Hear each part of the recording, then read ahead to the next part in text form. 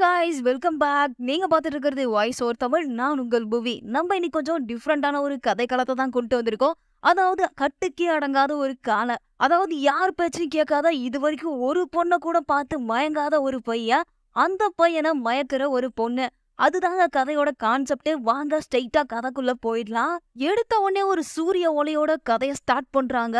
எப்படி இந்த இடத்துல ஹீரோயின் வராங்க அப்படின்னு பாத்தீங்கன்னா ஹீரோயின் ஒரு நாவல் எழுதிட்டு இருக்காங்க அந்த நாவல்ல இந்த மாதிரி நிறைய ஸ்டோரி வந்துட்டு இருக்கு அப்படி அவங்க அந்த ஸ்டோரிக்குள்ள வந்துடுறாங்க. ஒரு பறந்து விரிஞ்ச புல்வெளி இருக்கு. அங்க ஹீரோ அப்படியே வந்து குதிரையில வராரு. வந்து இந்த பொண்ணை எடுத்துட்டு போய் வெளியில விடுங்க. அதாவது இங்க விடாம வெளியில துரத்துங்க அப்படின்னு சொல்லிட்டு உத்தரவிட்டு போயிடுறாரு.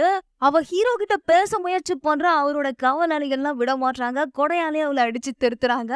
இப்ப அப்படியே சீனை கட் பண்ண அந்த பெரிய அரண்மனைய காமிக்கிறாங்க. அங்க வந்து ஹீரோயின் இருக்காங்க. அதாவது அங்க இருந்து வெளியில துரத்த சொல்லியிருப்பாரு இல்லையா? அவ அங்க இருக்கா? அத பார்த்த உடனே ஹீரோ எதுக்கு இங்க வந்த அப்படின்ற மாதிரி கேக்குறாரு. அதுக்கு ஹீரோயினும் எனக்கு இந்த ஒரு முறை சான்ஸ் கொடுங்க. நான் கண்டிப்பா நிறைய கஸ்டமரை கொண்டு வருவேன். அதனால எனக்கு ஒரு முறை சான்ஸ் கொடுங்க அப்படின்னு சொல்லி கெஞ்சினதும் ஹீரோ கிட்ட வந்து இந்த ஒரு முறை உனக்கு வாய்ப்பு கொடுக்குறேன். திரும்ப இதே மிஸ்டேக்கை பண்ணனா இந்த அரண்மனைக்குள்ள நீ வரவே கூடாது. இங்க இருந்து வெளியில போயிடணும் அப்படின்னு சொல்லிட்டு அங்கிருந்து நடந்து போயிடுறாரு. ஹீரோயினுக்கு ஒரு மாதிரி தனாவட்டா சிரிப்பா இருக்கு. இவ சிரிக்கிறத பார்த்தாலே இவ மனசுக்குள்ள ஏதோ ஒண்ணு இருக்கு. இப்ப அப்படியே ஸ்ரீநகர் பொண்ணு அந்த அரண்மனைக்குள்ள ஒரு அழகான குளியலறை இருக்குங்க. அந்த குளியலறையில ஹீரோ குளிச்சிட்டு இருக்காரு. அதுவும் பாக்குறதுக்கே ரொம்ப செக்ஸியா செம்மையா இருக்காருன்னு சொல்லணும். அந்த அழகான குளியலறையில அழகான பாட்டு போட்டுட்டு ரசிச்சுக்கிட்டே கொஞ்சம் மதுபானம் அருந்திக்கிட்டே அந்த மொமெண்ட்டை என்ஜாய் பண்ணிட்டு இருக்காரு. இப்படி இவர் குளிச்சிட்டு இருக்கும் போது ஹீரோயின் என்ன பண்றா? இவருக்கு கம்பல் எடுத்துட்டு வராங்க. அதாவது தோட்டிக்கிறதுக்காக கம்பல் எடுத்துட்டு வரா. மனசுக்குள்ள ஏதோ நினைச்சிட்டு தான் வரா. நம்ம உள்ள போய் அவனை வச்சுக்கலாம் அப்படின்ற மாதிரி நினைச்சிட்டே வரா. வெளியில வந்து ஆள் ஒருத்தன் காவலாளி நின்னுட்டு இருக்கான் அவன் உள்ளலாம் போக கூடாது இது வரைக்கும் அவரோட குளியலறையில யாரையும் அனுமதிச்சதில்ல அப்படின்னு சொல்றான். அதுக்கு நம்ம ஹீரோயின் என்ன பண்றா? என்னென்னவோ பேசுறா. வளவளவலன்னு பேசி அவனை எப்படியோ கன்வின்ஸ் பண்ணி உள்ள போயிடுறா. உள்ள போயிட்டு பார்த்தா நம்ம ஹீரோ குளிச்சுட்டு அந்த சட்டை எடுத்து போடுறாரு. அவரை பார்த்தோன்னே இவளுக்கு ஒரு மாதிரி ஃபீல் ஆகுது. ஃபீல் ஒரு மாதிரி மயங்கி போறான்னு தான் சொல்லணும். அப்படியே வந்து டைவர்ட் ஆகி நம்ம இதுக்காக வரல நம்ம வந்தது வேற விஷயத்துக்காக நீ அவனை பார்த்து மயங்க கூடாதுன்னு அவகிட்ட அவளே சொல்லிக்கிறா. ஆனாலும் அப்படியே மயங்கி போறா. திரும்ப அவனோட உடம்ப பாக்குறா. இவளுக்கு திரும்ப ஒரு மாதிரி மைண்ட்குள்ள என்னென்னவோ தோணுது. இதுக்கப்புறம் கண்ட்ரோல் பண்ண முடியாதுரா அப்படின்னு சொல்லிட்டு அந்த ரூம்குள்ள இருந்து வெளியில வந்துடுறா.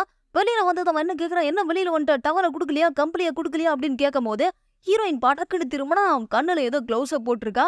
அதாவது ஹை க்ளவுஸ்ன்னு நினைக்கிறான் அதை மாட்டிட்டு இருக்கா.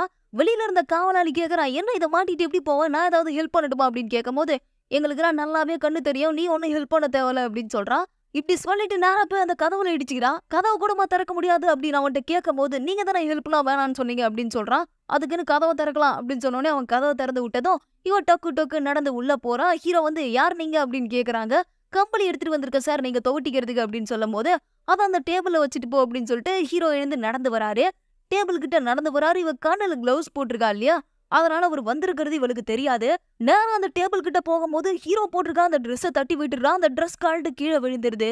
இவ ஒன் ஒன் ஸ்டெப்பா எடுத்து வச்சு கிட்ட போகும்போது ஹீரோட முதுகுல போய் அப்படி ஒரு முத்தம் கொடுத்துடுறாங்க. இப்ப என்னாச்சு ஏதாச்சுன்னு வெளியில இருந்து அவன் உள்ள வந்து பார்த்தா ரெண்டு பேரும் க்ளோஸா நின்னுட்டு இருக்காங்க. இத பார்த்துட்டு உடனே அவன் பக்குன்னு போயிட்டு வெளியில கதவை சாத்திக்கிறான். அவனுக்கு ஒரு மாதிரி ஃபீல் லைக் நர்வஸா ஃபீல் ஆகுது. ஹீரோக்கெல்லாம் சொல்லவே வேணாம். வேற மாதிரி ஃபீல் ஆகுதுங்க. யாருக்கிட்டயுமே மயங்காத ஹீரோக்கு ஃபீலிங்ஸா அப்படின்ற மாதிரி இருக்கு. வேக வேகமா வெளியில போயிடுறா. வெளியில இந்த காவலர் இருக்கான் இல்லையா? இவன் என்ன பண்றான்? ஹீரோயினை பார்த்து வெக்கப்படுறான். இது வரைக்கும் சார் யாரு கூட இந்த மாதிரி நெருக்கமா இருந்தது இல்ல இத போய் நான் என் கண்ணால பாத்துட்டேனே அப்படின்னு சொல்லிட்டு வெக்கப்பட்டுட்டு இருக்காரு யாருடா இவன் லூசு பையன்? உள்ள என்ன நடந்ததுன்னு தெரியாம இந்த மாதிரி பேசிட்டு இருக்கானு அப்படின்னு சொல்லிட்டு நேரா அவளுடைய ரூமுக்கு போனா அங்க யாரையும் ஒருத்தவங்க கட்டி போட்டு வச்சிருக்காங்க. அதாவது சும்மாலாம் கட்டி போட்டு வைக்கலங்க. நிறைய பொண்ணுங்களை கடத்தி கொண்டு போய் ரேப் பண்ணுவாங்க இல்லையா? அந்த மாதிரி இந்த பையனை கடத்தி கொண்டு வந்து அங்க கட்டி வச்சிருக்காங்க. அப்படி இந்த எபிசோட முடிச்சிடுறாங்க. ஹே காய்ஸ் இந்த எபிசோட் உங்களுக்கு பிடிச்சிருக்கா இல்லையா அப்படின்னு சொல்லிட்டு மறக்காம கமெண்ட் பண்ணுங்க. நெக்ஸ்ட் எபிசோட் கண்டினியூ பண்ணலாமா வேணாமா அப்படின்னு சொல்லிட்டு மறக்காம கமெண்ட் பண்ணுங்க. நெக்ஸ்ட் ஒரு செம்மையான வீடியோட சந்திக்கிறேன். This is movie then bye